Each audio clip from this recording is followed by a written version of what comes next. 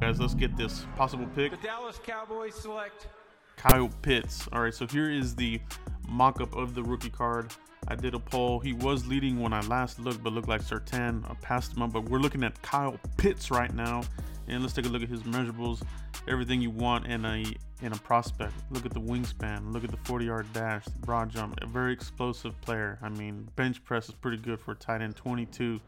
So how the, how he, would he fit in with the Cowboys? You know, would he be available at 10? He may not even be there at 10. He may go as early as 4. That's a real thing. So, you know, if you if you want to find how to add him into this, Blake Jarwin, is he going to be healthy? Dalton Schultz will be in a contract year. He's probably going to leave.